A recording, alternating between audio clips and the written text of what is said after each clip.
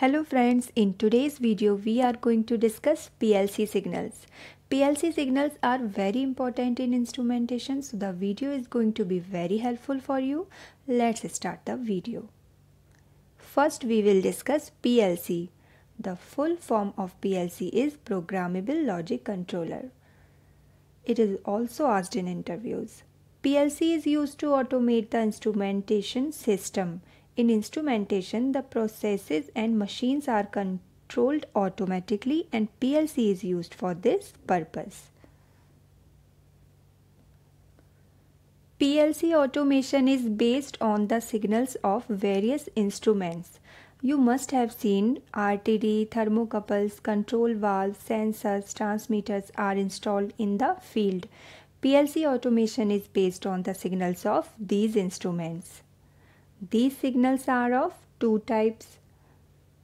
The first one is input signals and the second one is output signals. We will discuss these signals one by one.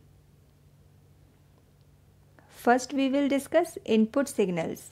Input signals are incoming signals. We have made a box and we have written PLC in the box. Similarly, we have drawn a box for some instruments. Suppose instrument 1. Similarly, there may be many instruments like instrument 2 and up to instrument n. So, the incoming signals to PLC from these instruments are called input signals as you can see by the help of arrow. Now we will discuss the output signals. Output signals are outgoing signals Output signals come from PLC and provided to various instruments like instrument 3, instrument 4 and so on. It is cleared from this image also. Output signals are shown by the arrows. Input and output signals also have two types. The first one is analog signals and the second one is digital signals. So we have two signals for input and two signals for output. The input signals are analog input signal and digital input signals. And the output signals are analog output signals and digital output signals. So guys, if you like the video, keep liking and keep sharing. Now we will see what is the difference between analog signals and dig digital signals. This question is also important for your interviews so you must know the difference. First we will see the analog signals. Analog signals are continuously varied signal and these signals vary under a range.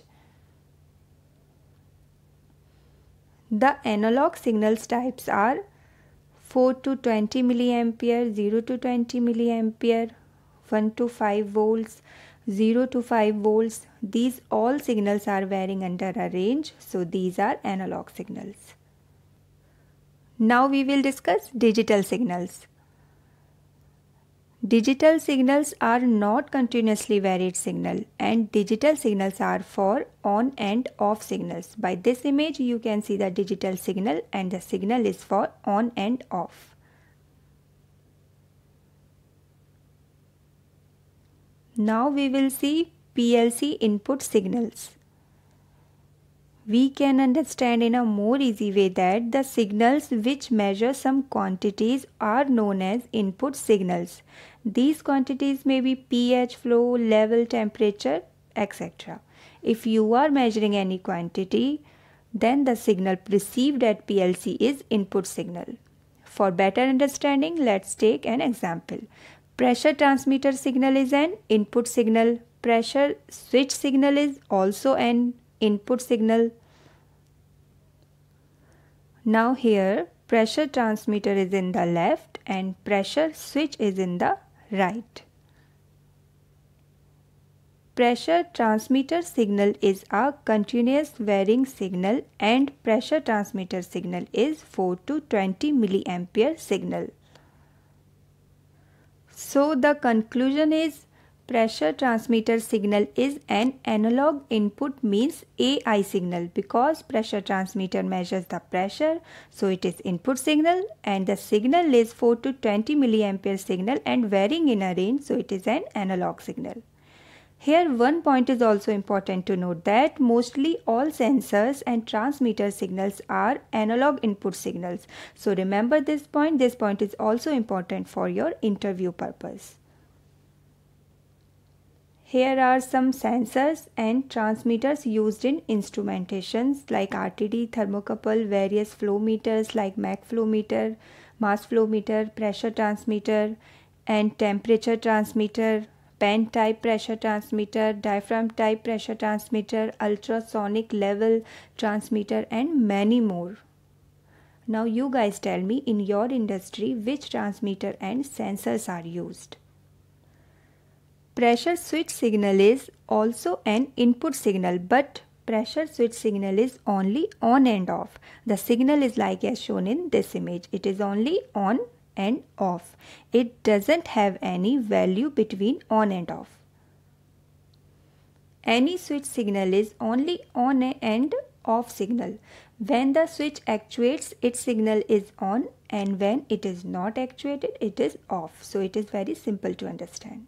So switch signals are input signals like limit switch, level switch, proximity switch, etc. Switch signals are digital input signals or DI signals. DI is the short form for digital input. DI signals are usually 24 volts DC signals. 110 volts DC signals are also used. Now you guys tell me which DI signals are used in your industry. So we have a conclusion that sensors and switches signals are input signals. So remember this point. I think it is also clear to you. Now we will discuss PLC output signals. The signals that control something are output signals like signal for control valve operation, motor start and stop signals are output signals. For your better understanding, we will take some example. First example is motor RPM control using VFD and motor start and stop from SCADA. And the second example is percentage open control valve and on off pneumatic control valve.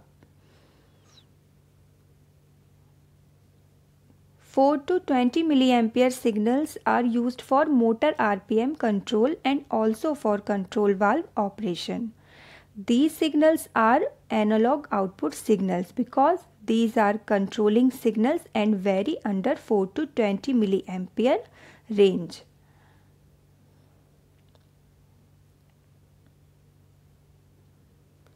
Pneumatic on-off valve is operated by solenoid valve or SOV and this is an on-off signal. SOV is used to operate butterfly valve and ball valve. The signal for SOV is a digital output output or DO signal. This signal is controlling a valve so it is an output signal. This signal is an on off signal so it is digital signal. It is very simple to understand. Similarly signal provided by SCADA to VFD for start and stop a motor is also a digital output or DO signal. Digital output signals are usually 220 volts AC signals. Now one question is for you guys what is motor load feedback and motor trip feedback. So that was our video. If you like the video, do like, do subscribe and do share with your friends. Thanks for watching.